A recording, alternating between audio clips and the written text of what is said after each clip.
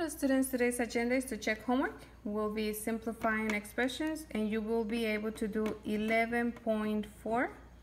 And today students will be able to simplify expressions by using distributive property and combining like terms. But before we do that, let's do a small do now. Okay. So in here it says simplify the following expressions um, this is from the previous lesson and so if you recall what we did was to look for the terms that have the same variable raised to the same power okay? So in here we have m another term with m and we have n n and finally, we have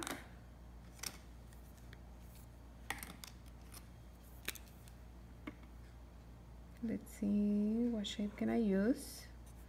A little drop. Negative 8 and negative 10 and they are like terms not because they have a negative but because they don't have a variable. Okay? So the answer will be if I have 15m and m, that's a total of 16m. For the n, 2n plus n is plus 3n. And negative 8 plus negative 10 is negative 18. Remember that if we have uh, same sign, we add and keep the sign of the bigger one. So that's the answer for the first one, 16n plus 3n minus 18. Now let's do the second one. Okay, so we have negative y in here. Another one with y is positive 2y. And that's it. Then we have letter z so it's 6z, positive 6z, negative 12z, and finally we have, I'm just gonna put a triangle, negative 9 and negative 1, okay? Again, we have to pay attention to the signs. Negative y and positive 2y different signs we subtract and leave the sign of the bigger, bigger one. So 2 minus 1, remember that when there is no coefficient, there is a 1 in there, negative 1. That's equals to 1y, but we don't need to put the 1. When we have, I'm just going to put here 6z, negative 12z, different signs we subtract and leave the sign of the bigger one. So negative 12 minus 6, 6. And we keep the z. So negative 6z. And finally, we have negative 9, negative 1. So when we have the same sign, we add them and keep the sign of the bigger one. So it's going to be negative 9 plus 1, 10. So negative 10. Uh, let me just show you here with the first one. So I have negative y and positive 2y. Remember, different signs we subtract, and that means that there's a 1 in there. So 2 minus 1 is 1y. We never put the 1 in there, okay? Okay, so now, remember that if you need to, more time, just make sure that you pause the video, okay? So these are, this is some information that we will need for our lesson. It says, when we see parentheses in our expression, right now we don't have any parentheses, but when we do in our expression, it means that we cannot touch anything inside of it until we get rid of the parentheses. The way to get rid of the parentheses is using distributive property. And I'm going to show you some examples in a minute. But he says distributive property is the multiplication of one term, monomial, usually by all the terms inside of the parentheses. So in here, the next example, this is the monomial it's referring to. And that is going to be multiplying with each one of the other terms inside of the parentheses. So times negative 2x and times 1. So the answer will be, we just bring this 5x down,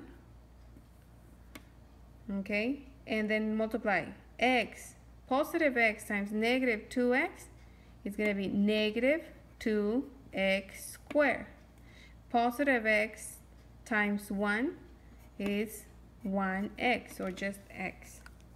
Then we're going to combine like terms and the like terms here are only x and x, not the x squared term, okay? So only 5x and x. So we're gonna bring this down. One thing that we need to know is that the answer needs to be in descending order, meaning that the biggest exponent goes first. It's gonna be negative 2x squared and then 5x plus x, let me do it on the side, 5x plus x. Both are positive, so we're gonna add them.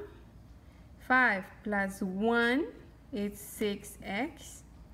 And so we just put it here, plus 6x, and that's gonna be the answer. Okay, so again, distributive property, and then combine like terms. We're doing the step from before, but we're adding the distributive property. So this is distributive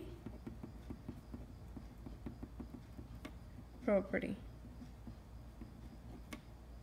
And when we put together the terms that have the same variable raised to the same power, that's called combining like terms. Okay, combining like terms. So now let's look at some other examples. Again, if you have you need more time, make sure that you take pause the video, take your time. Okay, so again, we see a parenthesis here. So we're gonna do distributive property. The rest is gonna come back, come down the same way. Okay, it's just multiplying this term or monomial by this binomial. So we keep the 6b this 2 is just part of the problem, okay? 6b, and then we say negative times negative, positive. 2 times 4, 8. b times b, b squared. Then we do the same term times the second term in here. So negative times negative, positive. 2 times 9, 18. And I have a B in here, but nothing in here, so I'm just gonna bring down the B. And this seven is not inside of the parentheses, so we don't need to multiply, we just bring it down. Now we're going to combine like terms. So let me use a different color. So I'm gonna get this b square is alone. It doesn't have others with square, okay? If it has a square and this one doesn't have a square, remember that they said chiquitito. Um, then they don't get along, they don't get together. I'm gonna combine this 6b with the 18b.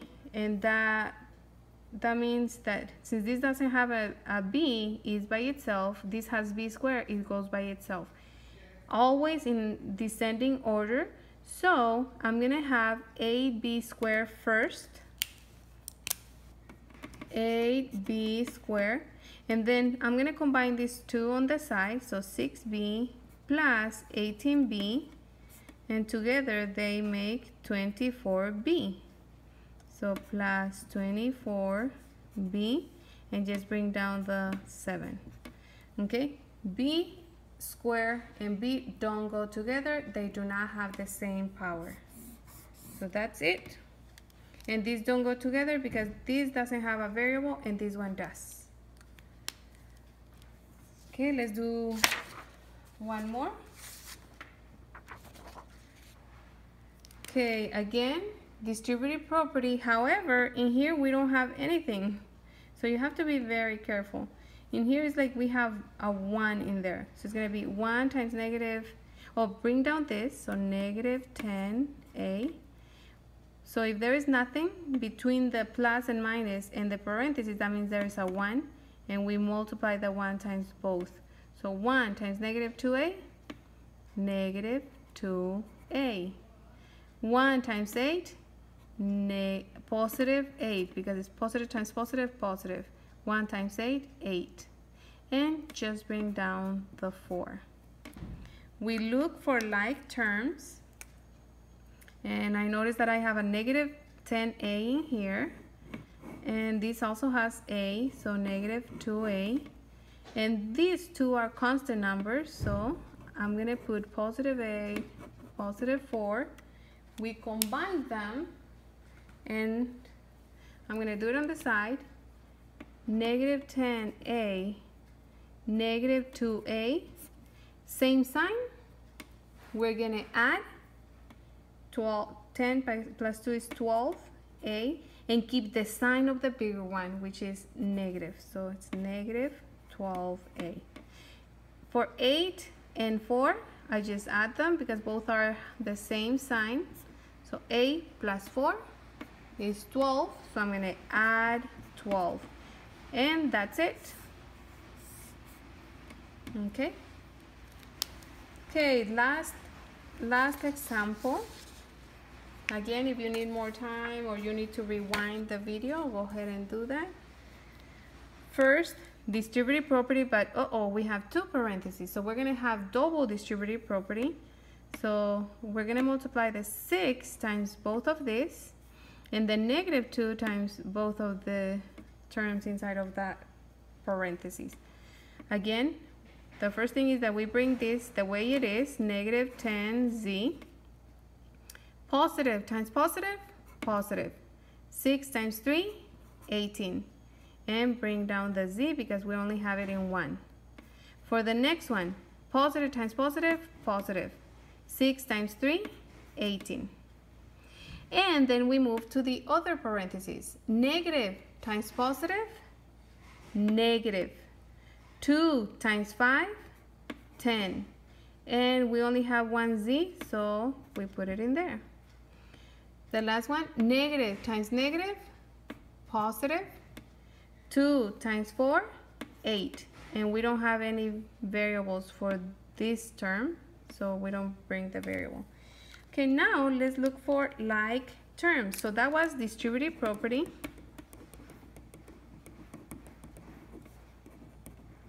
And now we're going to combine like terms. And combine like terms means, means that I'm going to look for the terms that have the same variable raised to the same power. Okay, so I have z in here, z in here, and z in here. And then I have a constant number in here and a constant number in here. So if you notice, I have negative 10z and positive 18z. So when we have different signs, we subtract and leave the sign of the bigger one. So 18 minus 10 is 8, and since the bigger one is positive, I'm going to have positive 8z. The last one is negative 10z. So negative 10z, different signs, okay, we don't pay attention to this one anymore. Different signs, we subtract and leave the sign of the bigger one. The bigger is negative, so it's going to be 10 minus 8, 2z. So that's going to be my answer, negative 2z. Now for the 18 and 8, they are both constant, so 18, 8, both are positive, so I'm going to add 18 plus 8 is 26, and so that's it. We put it here. Again, that's the answer. This doesn't have variable. This one has a variable. So they are not like terms and that's why it stays like that. Again, remember that we're going to do first distributive property, then combine like terms so that we can simplify the expressions. And now you can work on 10.4. So have fun.